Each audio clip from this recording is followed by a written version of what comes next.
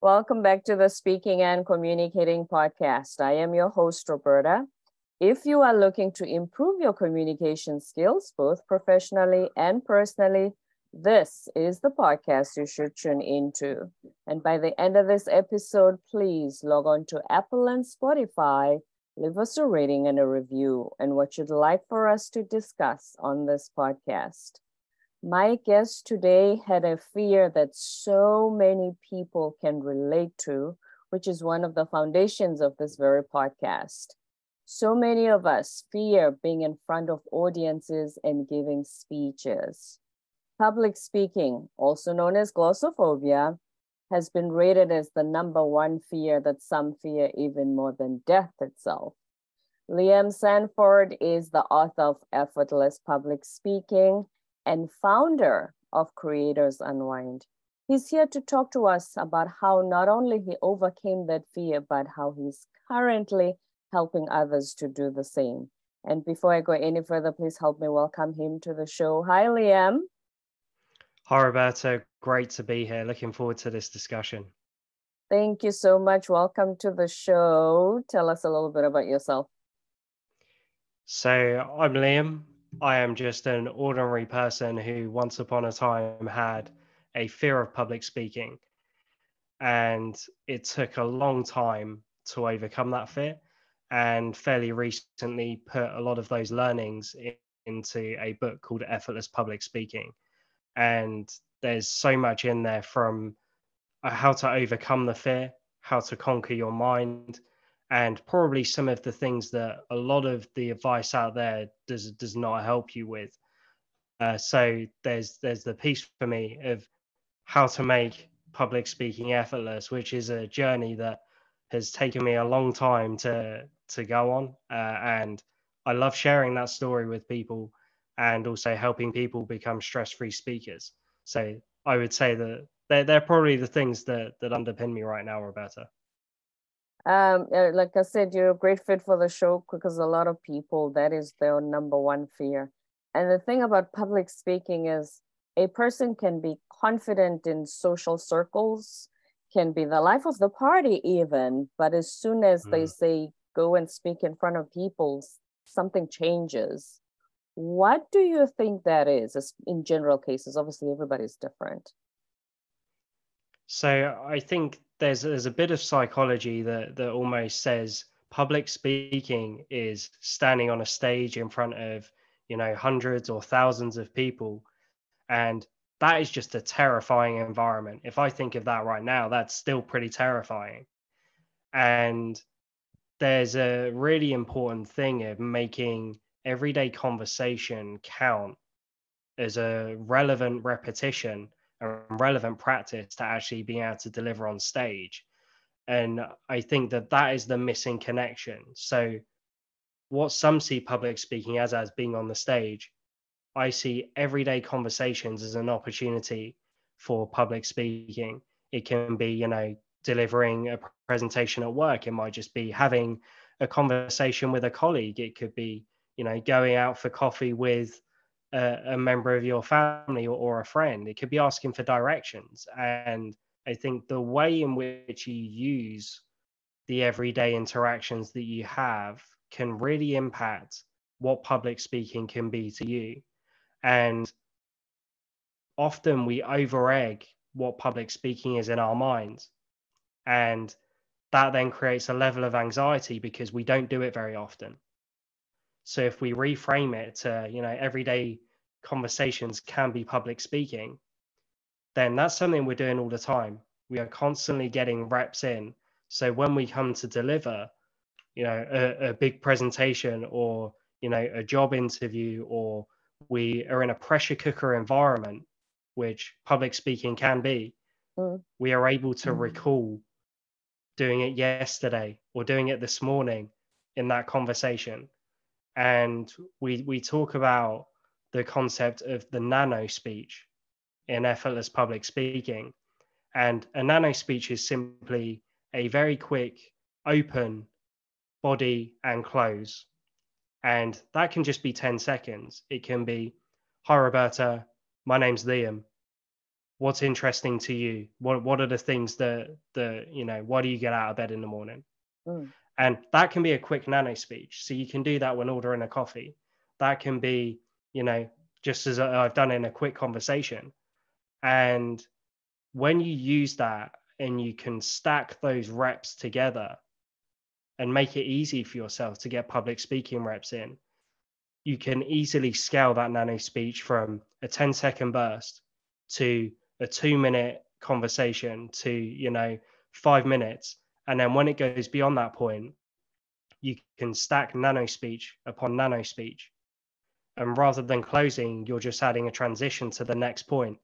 and there you go you have a presentation and that's something that that i don't think a lot of people think about so the nano speech for me is is such an important concept that I certainly used when I had a fear of public mm. speaking around 10 years ago. That's interesting that we do not make that connection that, hey, wait a minute, I'm public speaking all the time. That's right. We don't make that connection. And especially, like you said, if I'm ordering coffee, I don't see it as me standing on stage and the barrister and everybody else is watching me order the coffee. Mm. There's something vulnerable and sort of being naked, being on stage. It's like everybody's watching you. It's almost yeah. like a scarlet letter moment where everybody's That's watching right. you and, and everybody thinks, what, what, what am I, what's going to go wrong? People are judging me. The spotlight is on me. So we don't make that connection of the nano speech that I do this all the time. Yeah, that's that's right. And ultimately, confidence is success remembered. So, mm. how easy is it for you to recall successful practice that you've had previously doing this thing? And if public speaking to you is standing on a stage in front of a lot of people, you don't do that very often. There are not that many opportunities to do that. And so when you start reframing it that every conversation has the ability to be a nano speech has the ability to be a public speaking rep you can build successful repetition after successful repetition so that it's easy for you to recall the success that you had yesterday doing the same thing or using the same structure so that when you turn up you actually are delivering at your best. And the important thing here is that practice is is absolutely critical. But what's really more important as a as somebody public speaking is recent repetitions because if i got all that practice in 3 4 years ago that was 3 4 years ago that's going to be hard for me to recall that success mm. so making it easy for yourself and building in recent reps before public speaking or an important presentation or a job interview or whatever other important event that you've got is so important to make sure that you're not leaving your performance up to chance. So if I have a speaking rep, uh, a, a speaking event coming up in two weeks' time, every day in the next two weeks, I will be intentionally using the nano speech and intentionally finding opportunities for public speaking so that when I turn up, it's easy to recall those successful reps and I will be as confident as I possibly can be. Certainly, yes. Confidence comes from knowing I've done so much and of this and so many times and I got this. it, it actually even, you know, betters your attitude in a sense. Now, right why would someone as young as you look decide that public speaking is something you wanted to focus on? Because usually, like you said, it's either required by the job, it's mm. for the interviews, or you know, especially with job ones, because that's mostly people that we work with.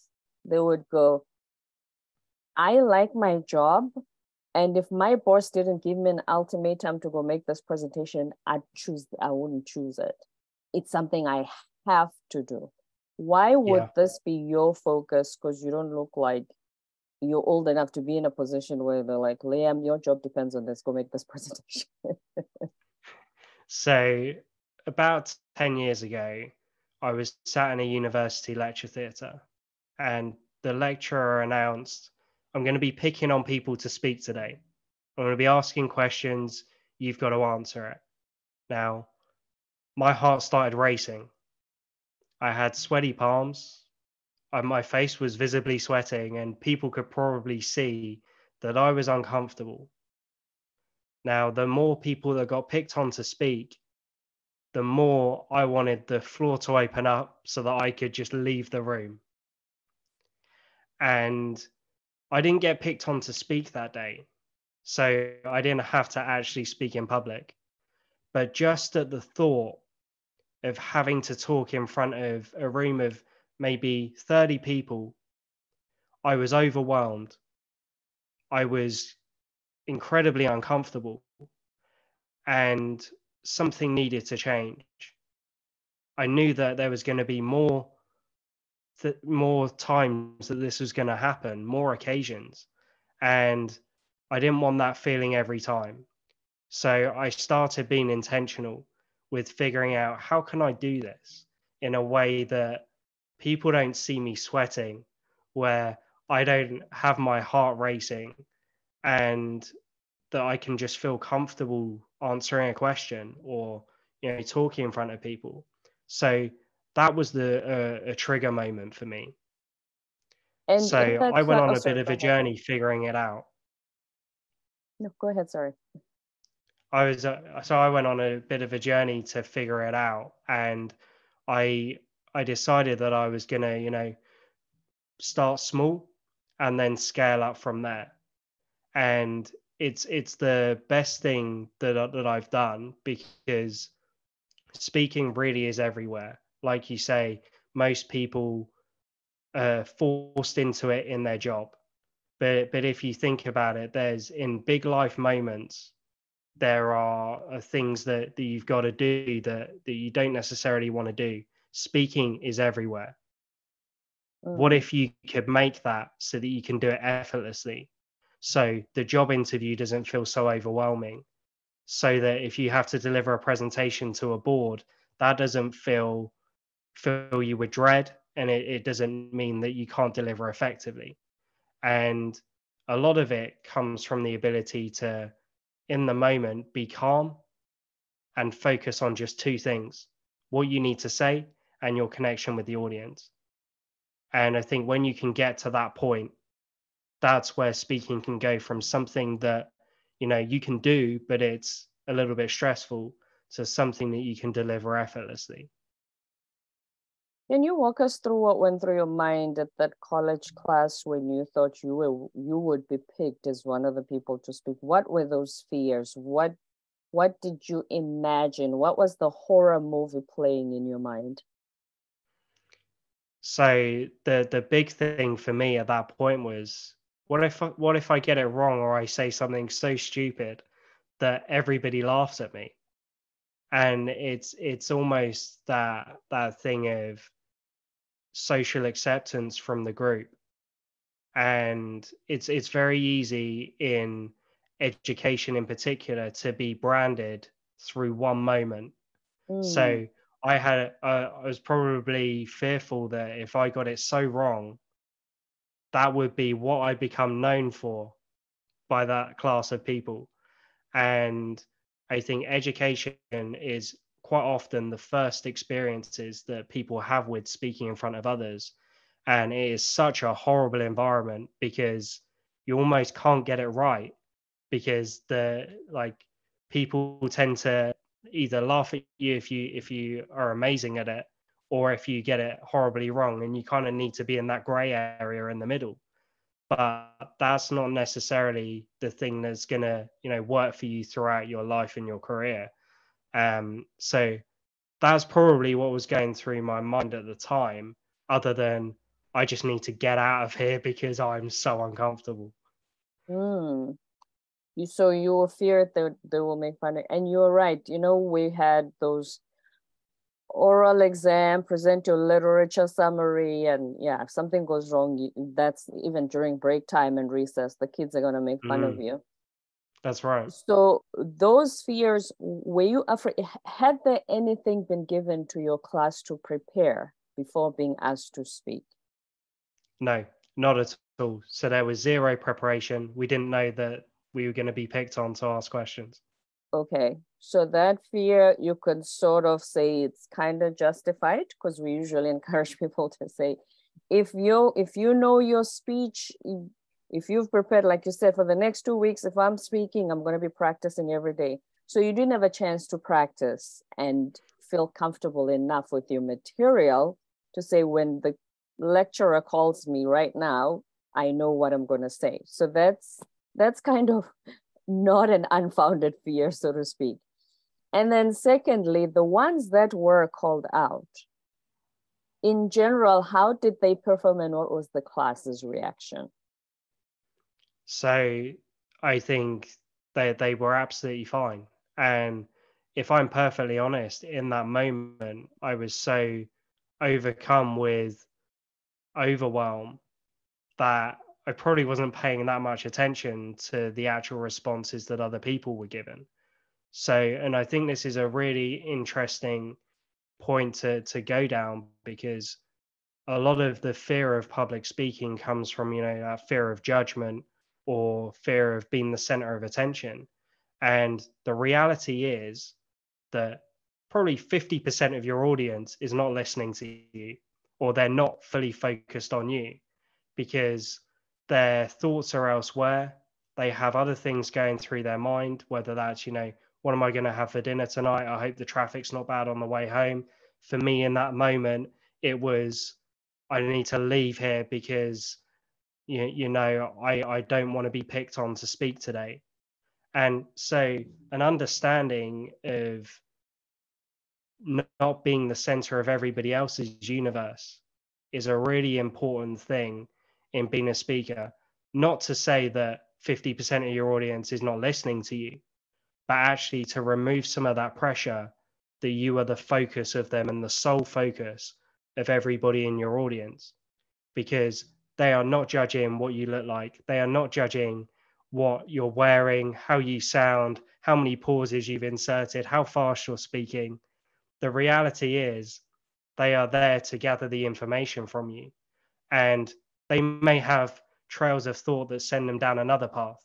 So I find that a, a little release of pressure because rather than, you know, a hundred eyes on you in a room and everybody is, you know, meticulously looking for a moment where you mess up, that's just not the reality. Mm. Um, so I think it's a it's an interesting route to to go down because we we are the center of our universe. Every thought that we have comes from our brain with us in mind at the core of it. That's not the same for everyone else. They are the center of their universe. Mm. So I think understanding that in the context of public speaking, you can, you know, give yourself some slack because you're not going to get those judgments. And really, the the worst that you think might happen is is a million miles away. It's very mm. unlikely. That's interesting because usually when we talk about the audience not judging you, we usually say they are rooting for you actually to succeed they because like you said they you are bringing them the information they need you know your classmates were talking about whatever lecture series that mm-hmm. was so they are hoping that you will do well because the information you're bringing is going to benefit them yeah. So nobody wants you to mess it up because they think, oh my goodness, after this lecture, I have no idea what we're going to be tested on. Nobody's thinking like that. That's right.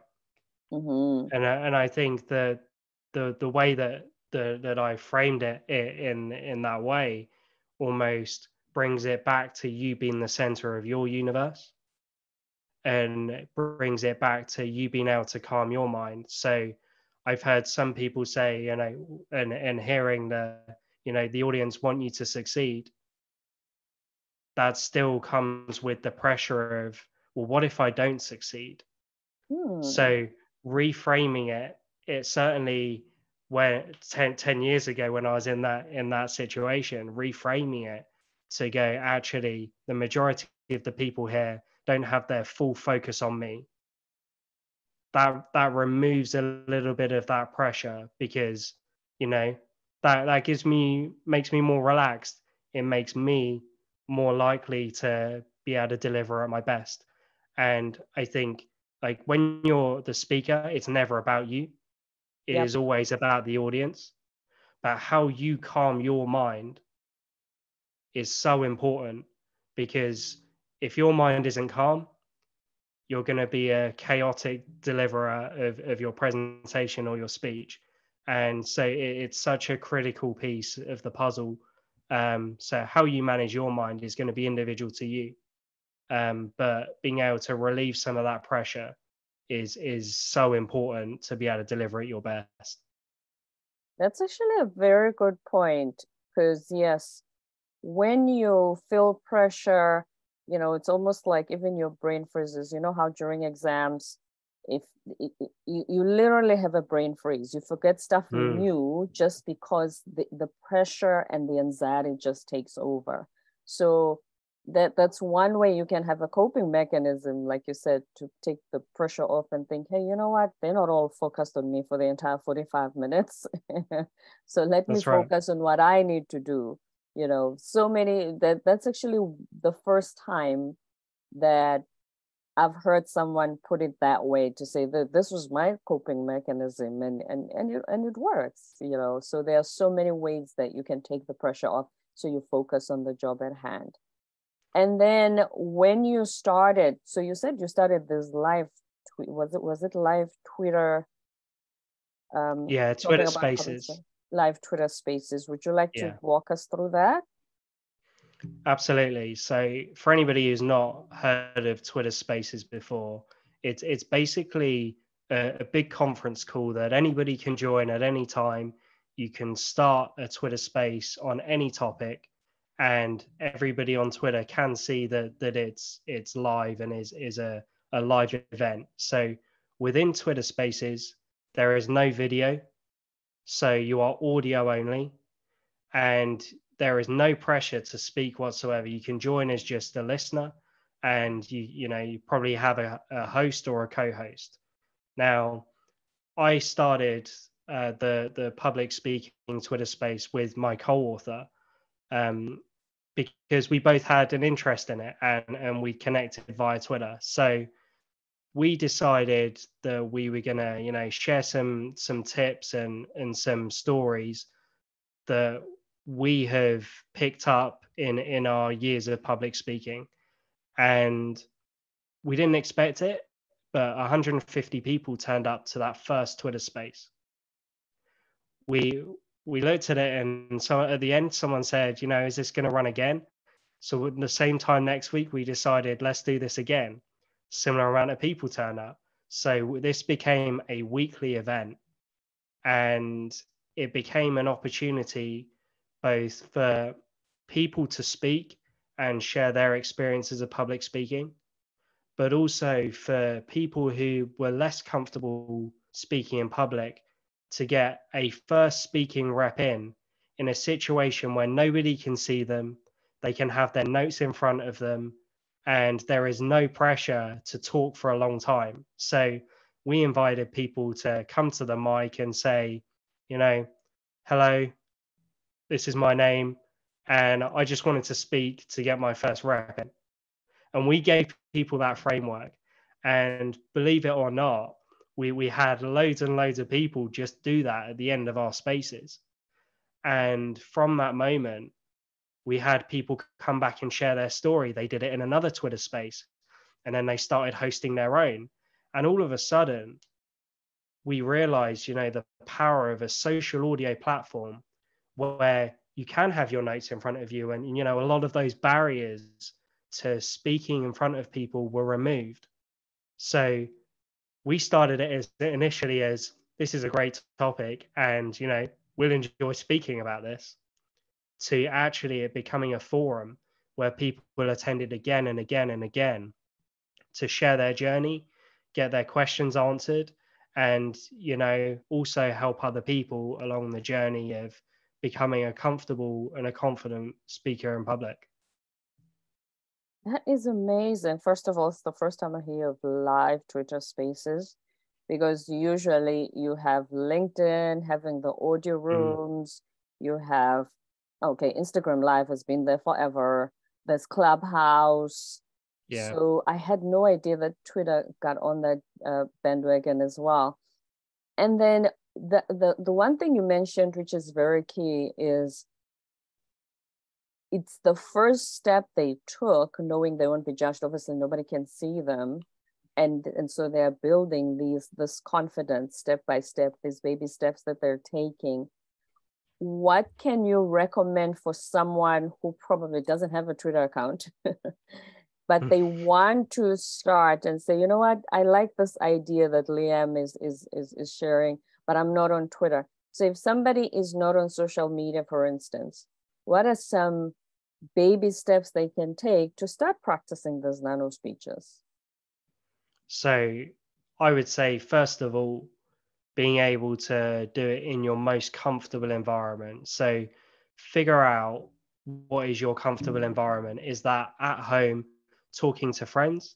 Is it at work in the office uh, over a coffee with a colleague? Is that via a video call? Is it via a phone call? and start getting nano speech reps in in that comfortable environment.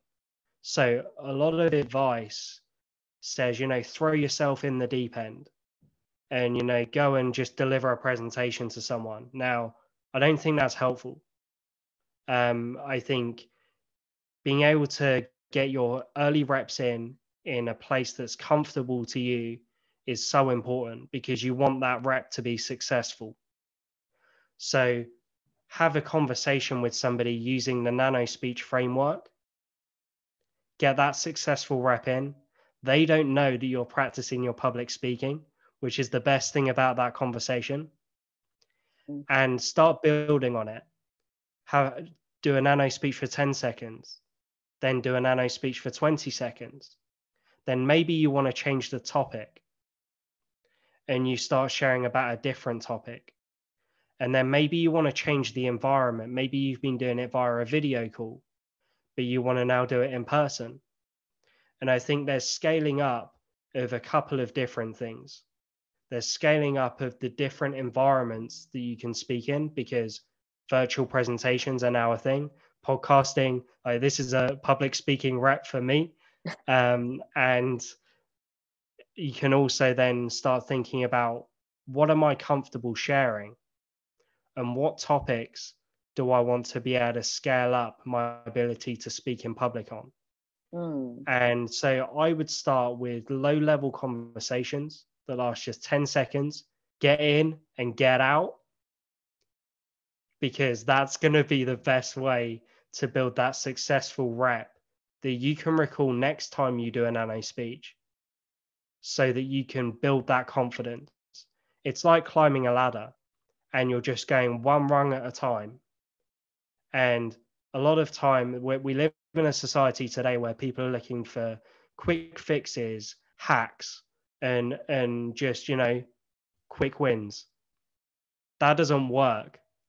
If if you you know don't build the foundations of being a speaker, the fall is going to be bigger if you try and you know skip a load of steps. So start small, with the nano speech in just daily conversations, then scale up.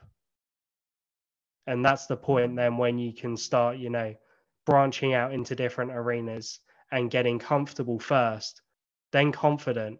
And then only when you're comfortable and confident do you then become a competent speaker. Mm-hmm. When you're comfortable and confident is something you build up when I there was a, a LinkedIn live that I attended, and the host was interviewing a guy uh, who's actually in Singapore, and he was talking about how what uh, I don't know how many years ago, but his boss actually asked him and said, "You need to go and make this presentation to this potential client." He said, "I was completely freeze. I literally tell my boss, I said, no, pick Liam, my colleague, for instance." first of all, imagine saying that to your opponent, like, I'm not going to do it, get somebody else to do it. but he spoke about, because he's been working for about 20 years, he spoke about how it became a hindrance to his career growth. The colleague that he said can be picked is the one whose career accelerated and got promoted instead of him because he wasn't willing to. But he realized that he needed to do something about it. Mm. Now, that was his story. And as he shared his story, you can see the comments. The majority of the comments were, How do I get started? Why isn't anyone telling me how to get started? How do I get started to speak for the first time? That's right. I, that how do I get started was the major percentage of the questions on the live as we were listening. Yeah, I I can imagine, and I think there is so much advice out there that you know starts talking about advanced techniques and you know how long should I pause for and like how how long should I be on a slide for and all of these different things that actually if you just want to get started and you you hate speaking in front of people right now that's all noise that's unhelpful mm. And and i think that there's a, a really important piece of you know you don't have to throw yourself in the deep end just just start small get comfortable there then go to the next level and the the important thing here is to start way before you need it. Now, I, I had someone reach out to me a few weeks ago and said, I have the event of my life coming up. And I got to speak in front of 3,000 people. And I have a fear of public speaking. I don't know how to do it. Now, the reality is that that's too late in the game. You're not going to do it in a speech practice of that. I'm about right. to say that the, the nano speech sounds amazing. And like I said, you you look very young, so you have you've had the time to build that up. But somebody like the guy on on the LinkedIn Live I was on, if he needed to do that for his job within the next two days, he didn't have the luxury of starting in baby steps. That's so right. if you need, and and those are some of the people that, that I work with, is that the deep end is where they need to get thrown at work and suddenly 3,000 people, Roberta, what do I do? Mm-hmm. you know what I mean? That's so it, yes, yeah. you're right. You're right when you say start long before it's required. But if it's now, I have to do it for my job to keep my job. The deep end techniques, what would you say is a one or two that could work in order to while you are doing the background work? So I gave I gave the coaching client that reached out with this same problem two very important specific things. The first is keep your preparation simple because then your delivery will be simpler for you. And there's there's something really important that if you're delivering and you know being long-winded with your message and saying a lot of words, that doesn't mean your audience will understand more. Actually, it leaves more room for interpretation. So being clear and concise in your message is the most important thing that you can do. So I have a four bullet point framework that I use every time I deliver a presentation or a speech. So, how am I going to open that is engaging and that doesn't run through an agenda, which actually is going to, you know, turn the attention away from the presentation? Second of all, what is the main point that you're going to deliver? If you can't get that down to one sentence, it is not clear enough. Mm. So your main point you need to be able to deliver in one sentence. Then I like to attach a story to that main point. So what that story is going to help the audience remember that main point. And then the fourth piece, how am I going to transition to the next point or how am I going to close? Mm-hmm. That is not necessarily a, you know, oh, I've, I've finished now and uh, I'd like to hear some questions from you, which is how most people end end their presentations. Think about calls to action. Like I, I the the example that that I use with with my coaching client was if you're if you're asking them you know to sign up to your email list or you are asking them for what what do they think your next steps are which is a common one in you know promotion conversations and things in the workplace you can almost shape it around to here are some things that i'm going to be doing next. What is it that you would advise me to do on this path and that's a different way of handing it over for questions Mm. without you know oh i finished and i'd like, I'd like to hear some Anybody have any questions? And then they ask you something so difficult sometimes. that's it that, that's exactly it sometimes they don't even they don't even really want to know they're just gonna throw you off. I don't know. But That's right. sometimes when you say any questions, they'll ask me a question where I go, why would you even think of that after what I've spoken about? that's exactly it and Mhm. so I, I think basically the advice that that i would give is have something that you can open with that is really really strong that is not an agenda something very different and make sure that you can transition between points very well because that's where your presentation is won or lost Mm, every time that you flick a slide is another opportunity for somebody to go, cool, that's more words on a screen that I don't want to look at and read. And so those transitions, they don't want to read. points. Yep. Yep. that's it. Sorry to interrupt you. Yes. it- don't if you put something where you're just gonna read every single word like a novel, a lot of people read fast. They're gonna read faster than you, then their minds are gonna go away from you, take off the attention from whatever it is you're presenting. So we usually advise, I don't know if you agree, that you don't put every single word of what you're gonna say and just read the slides. Oh. Absolutely. Like, uh, like if if somebody can get everything that you're going to say just on the slides, you may as well not be there. Just email them the presentation. and like that, that that's that's something that, that i think is really really important. Like you you shouldn't make the slides for you as the speaker. The slides are for your audience. So if it doesn't help them understand better then it shouldn't be in there. Like the the slides are not the main event. You are the main event. The Mm. slides are your supporting act.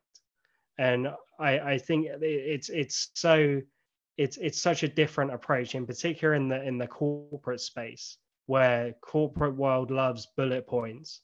But if you go more down the images route and you know just a couple of keywords on screen Mhm. that's something that's going to capture their attention. They're going to have to listen to you because otherwise they're not going to know what's going on. So when you do email the slides afterwards they need your narrative alongside it. You are the main event not your slides. Mm. and that's that's a, such an important message that i think gets lost in the noise of you know preparing for public speaking and you know trying to think about all of the million and one things that are going to be going on in that in that public speaking event. So don't make the slides for you make them for your audience That's right. Pictures and a few words. I always say have like about two words at best for each bullet point. Words that strike curiosity, but they don't Yes. tell the whole story because you are going to be telling the story. But if That's you have right. one word or uh, two per bullet point, people will say, huh, what is that? I wonder what she's going to say about that. That strike curiosity. But if you read the whole story, like you said, the slides then become the main act. There, there's no point in the in you even being there. So, what would you say would be the three main takeaways from your book, Effortless Public Speaking? number one the nano speech Mhm. Uh, I won't go into any more detail on that. I think we we've covered the nano speech. Uh, number two, I think the importance of calming your mind. And a lot of the time, that noise comes from, you know, a lot of the logistical things that are not actually to do with the speaking. And there's a lot of things around is there going to be parking at the venue? Like, is my video going to work? What is the laptop going to work? And all of the technical things that that come with that. And I think getting comfortable and getting those questions are answered ahead of time is really important to help you calm your mind. Um, and in addition to that, I would say, you know, when we prepare, everybody has a tendency to go over the stuff that you know really, really well. And you ignore the bits that might be a little bit more difficult. And I think that needs to be in reverse. The things that you know really, really well like you're gonna you're gonna know that. If you know it now, you're gonna know it on the day when you come to speak. So start with the things that are going to be a little bit more difficult for you, a little bit more cognitive load, so that you can get that off the plate, so that you can go in as confident on those bits as the bits that already you you know that you're going to talk about. Um, and I would say the the third takeaway that that stands out for me is storytelling and the mm-hmm. importance of it. So often people open with, you know, the agenda and, and those things that don't capture attention. People don't remember what you say, but they remember how you made them feel. And storytelling is the way to make them feel. So if you want your message to be memorable, you need to tell stories that are compelling and I think the great thing about storytelling is that they don't have to be extraordinary moments. So if we think about our everyday lives, we get up, we have breakfast, we go to work, we come home from work, we make the dinner, we spend time with our family. Generally speaking, that is the life of most people. Mm. Stories that you can tell that resonate with people are going to help make them feel and therefore remember your main points. So rather than an extraordinary story that people might not be able to relate to, create stories from those everyday moments yes. that almost everybody in your audience are going to be able to relate to. And that that makes it different from just, you know, telling your story. You end up telling them their story mm. because they are imagining themselves right there with you. So if you can tell the audience their story and make them feel, and then deliver your main point at that peak moment where they are right there in the story, there you go. That's impact because they're going to remember that. That's going to be the piece where they go home and they tell tell their husband or wife this this person told this story today and it was amazing. And it didn't come from an extraordinary moment. And i think we we do feel quite often that you know stories have to come from crazy different things sci-fi type of situations. No that's not reality. Because we always talk about being relatable. If you tell a story that almost comes from a sci-fi movie what makes you think anybody's going to relate to that yeah. That's right. They need to be relatable. Last words of wisdom, Liam Sandford. So I would suggest, and this goes for all communication and all speaking, it's never about you. It's about your audience.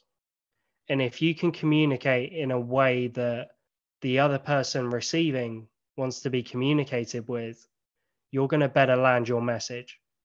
And if you tell stories from everyday moments, that's going to resonate with the majority of people. So use that to your advantage when you're delivering presentations because storytelling is the way to be someone that people resonate with, but it's also the way to make your message resonate with them and stick with them long after you've done speaking.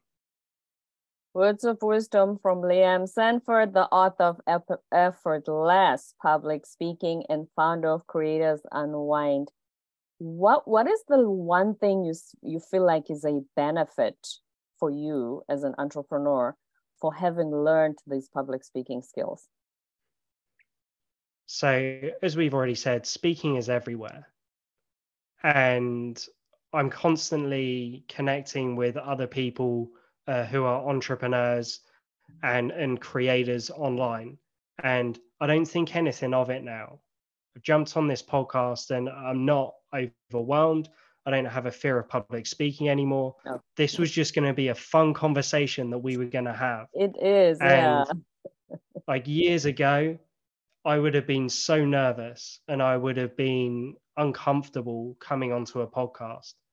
And the opportunities that have almost come in front of me through overcoming a fear of public speaking and going on to you know being able to speak stress free in public like it's it's amazing. So it has opened doors because i'm able to you know step into opportunities and speak to people that i wouldn't have been able to do years ago. And just just want to make one more point here roberta which i think mm-hmm. is really important go ahead is that nerves are not the same thing as not having confidence. So, although like I can speak in public stress free, that doesn't mean I don't get nervous. I still do. So that's that's right. And I think people confuse the two. So they think, oh, if you're nervous, you're not confident. But even though, like as I said today, like I I'm confident and I have this, I've been able to do this conversation and this podcast stress free. I still had nerves at the start. And can I interrupt a, you? I had a guest who told me he he I don't know whether he heard it from one of the producers who worked with Michael Jackson. Michael Jackson was nervous before going on stage. Mm. About that. Michael Jackson. Well, that's right. it if, didn't if you're not nervous, him. you're not challenging yourself. He, he still got nerves. Absolutely and I think it's so it's okay to be nervous, just channeling them in a, in a way that you know turns it from I can't do this into this is a great opportunity and I'm going to show what I can do here. I think that that shift is is so important and you know that is probably been the thing that you know has benefited me most in in being an entrepreneur through learning speaking. And you know you don't know what opportunities are around the corner.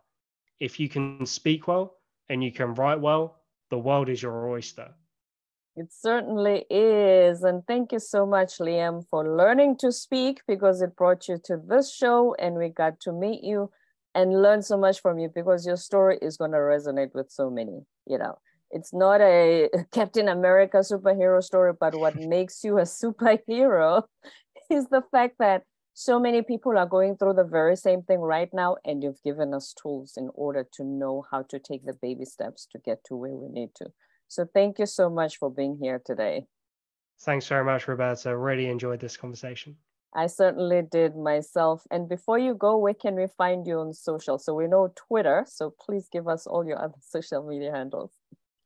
So you can find me on Twitter at Liam Sandford. You can find me on LinkedIn uh, just by searching for me. And you can find everything and my whole portfolio on liamsandford.com. liamsandford.com. Thank you for being on our show today. Don't forget to subscribe. Thanks very much, My absolute pleasure. Don't forget to subscribe, leave a rating and a review on Apple and Spotify, and stay tuned for more episodes to come.